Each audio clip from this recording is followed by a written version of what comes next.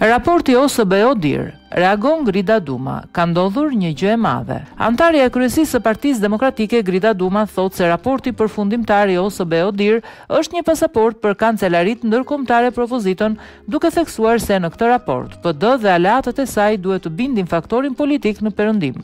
Për mua raporti është shumë objektiv. Kam parë një raport që më ka impresionuar.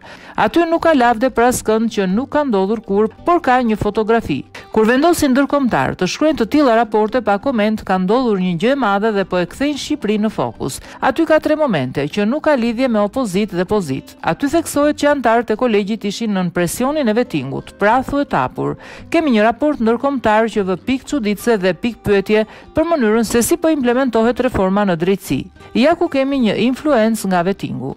Ata thonë mungesa e Gjykatës Kushtetuese dhe mosbotimi i dekretit të presidentit në fletoren zyrtare. Derisa ato thonë se është e papranueshme data e dekretit të presidentit, vetëm me këto tre elementë zgjedhjet kanë rënë, Personalisht mendoj se raporti është pasaportë ndërkombëtare për kauzën e opozitës. Kjo duhet përdorur nga opozita në kancelaritë perëndimore që kauzat e ngritura u vërtetuan. Erdhëm sot me një certifikatë dinjitoze për vërtetësinë e kauzës. Faktori ndërkombëtar politik duhet të japë kontributin e vet. ka theksuar Duma, e ftuar në një studio televizive.